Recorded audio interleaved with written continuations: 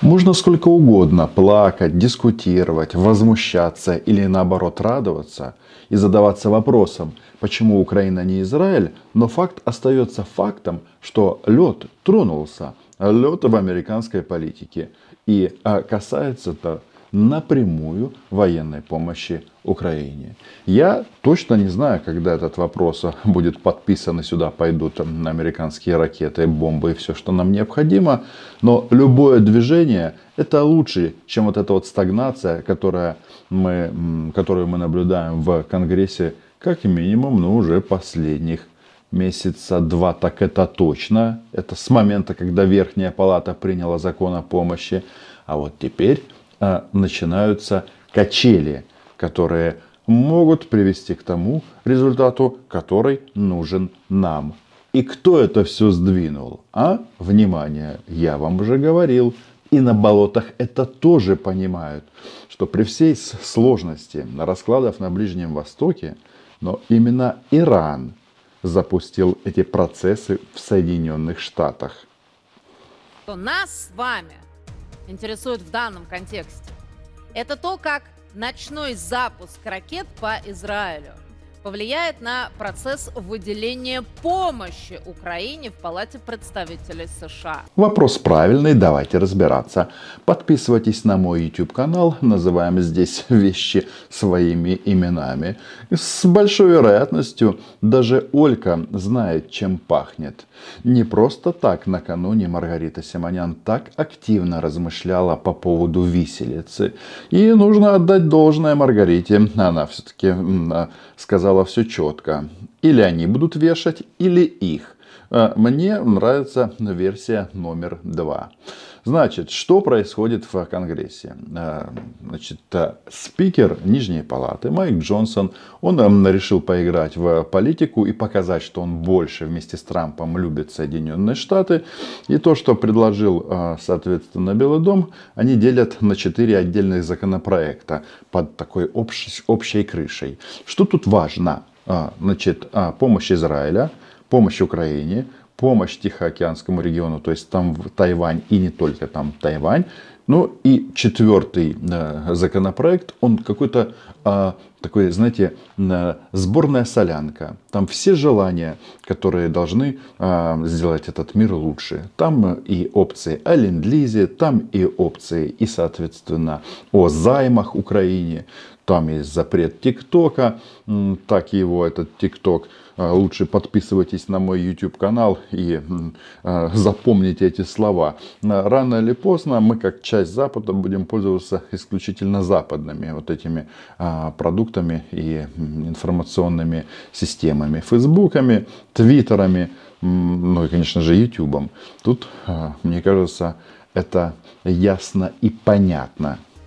Лидер республиканского большинства в Конгрессе Стив Скалис уже заявил, что республиканцы теперь будут пытаться вынести на голосование помощь Израилю отдельно. В то же время Трамп заявил, что поддержал помощь Украине, но лишь в виде кредита и не подарка. Заявил, что Европа сама должна давать больше денег, потому что это война на Европу больше влияет. Именно смена позиции Дональда Трампа, она как бы этот процесс и запустит. Нам, а, по большому-то счету, а, в сложившейся ситуации все равно, как будут поставлены сюда боеприпасы, ну и ракеты к комплексам ПВО.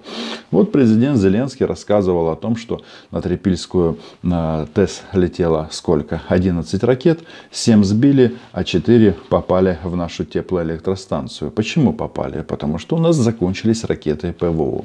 И э, сам факт э, как это, э, возобновления американских поставок, он принципиально важный. Тем более, опять же, самое как, э, такое обидное для меня, что американцы сделали помощь Украине фактором а, внутренней политики. Хотя все прекрасно понимают, что оказывать эту помощь необходимо. Там вот эта речь идет о кредитах. Ну, а, беспроцентные кредиты с какими-то там очень льготными условиями.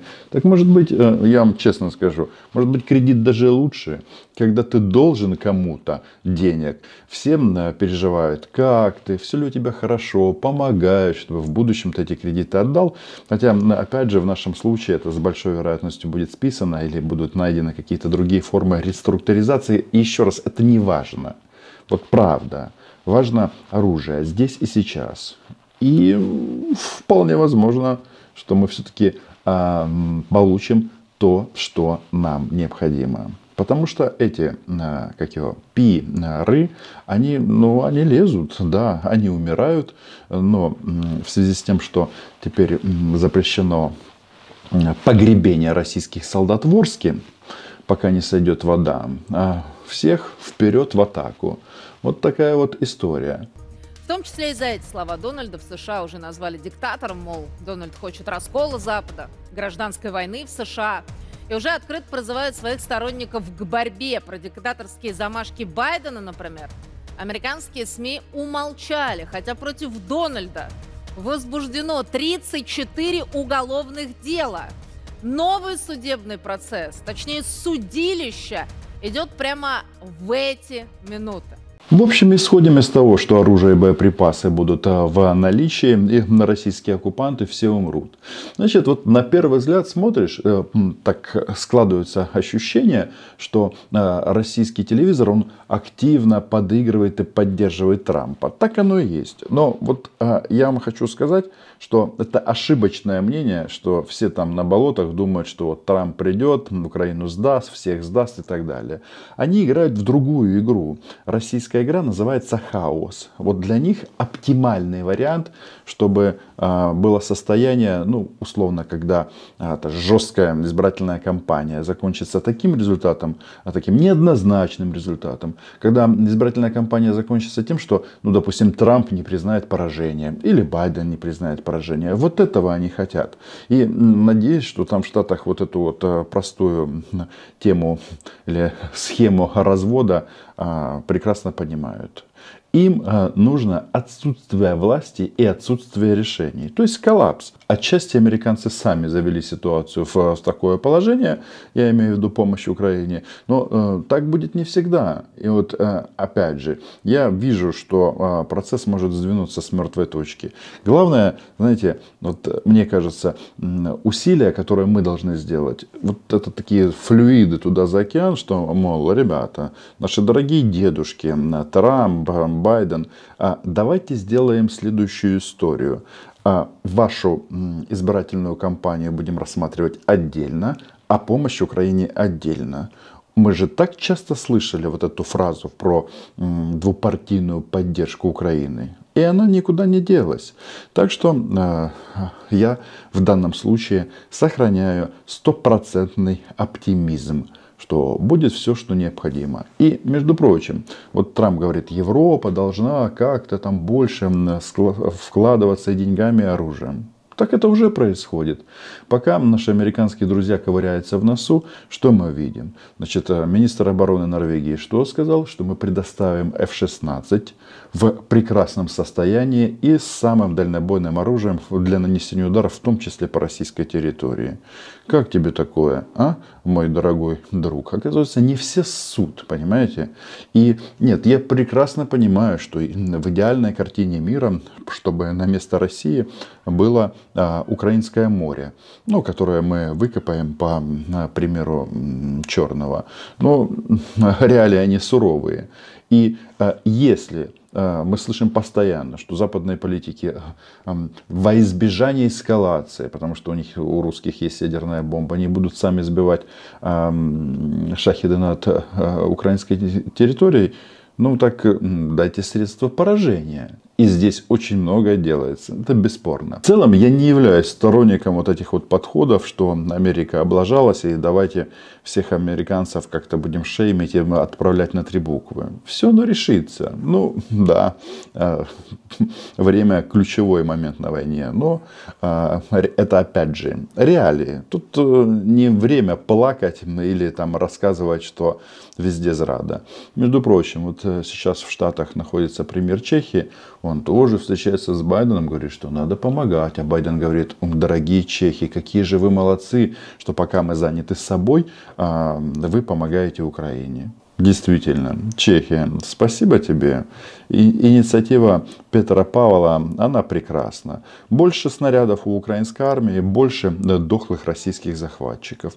И это, кстати, понимают все. И, внимание, даже Ольга Скобеева, она решила сделать ход этим буквой Г она решила походить и нашла победу. Вот как вы думали, где могла Рашка победить? Вот неожиданно взяла Рашка и победила. Нигерцы снова в игре. В прошлом году они вышли на улицы, чтобы потребовать вывода французских войск. И у них получилось. В этот раз они требуют закрытия американских военных баз в их стране.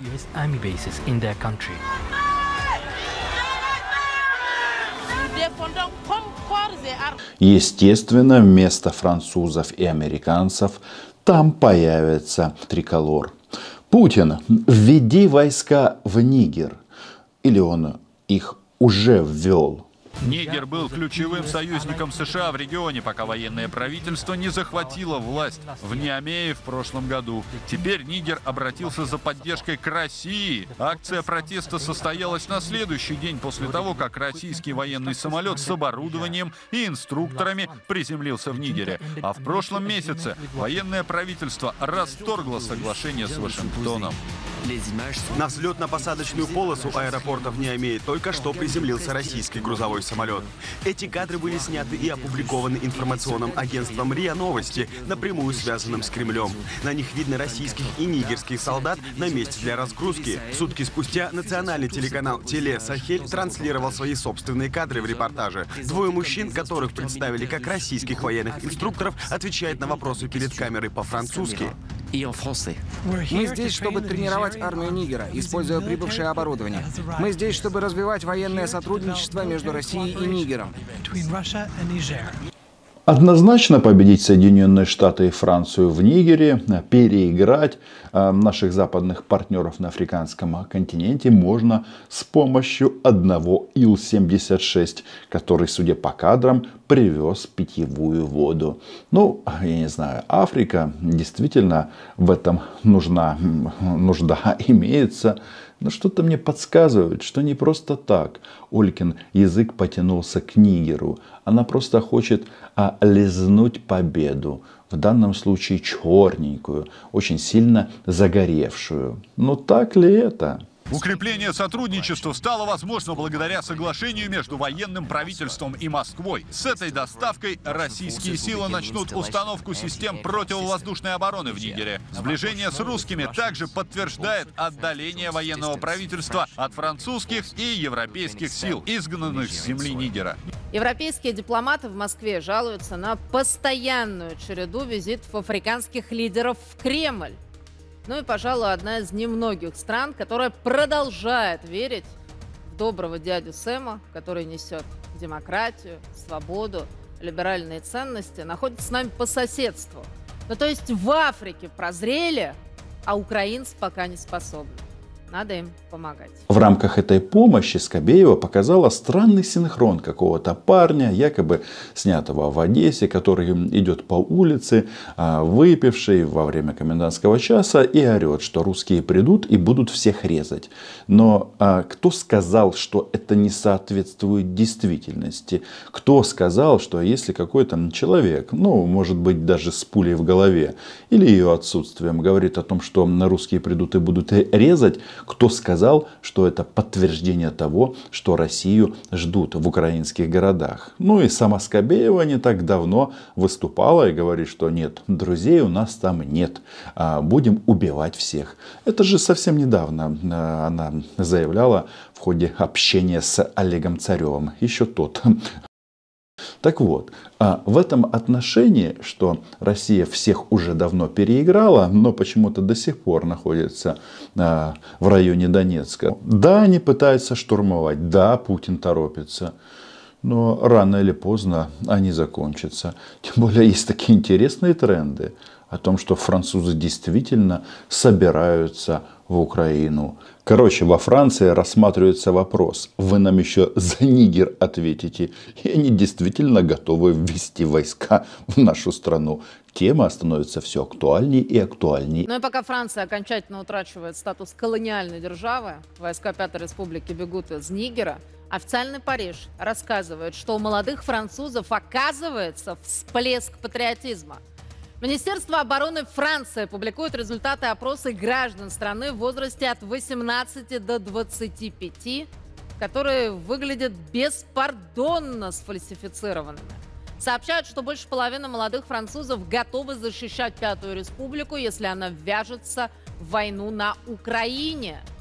31% респондентов разделяют идею Макрона отправить на Украину французских солдат – а ровно вдвое больше, 62%, считают, что было бы хорошо вернуть в стране обязательный призыв на военную службу. В общем, молодые французы якобы рвутся воевать. Французы скоро будут в Украине. Подписывайтесь на мой YouTube канал. Называем здесь вещи своими именами. Україна була, є і буде. До побачення. Окупантам смерть.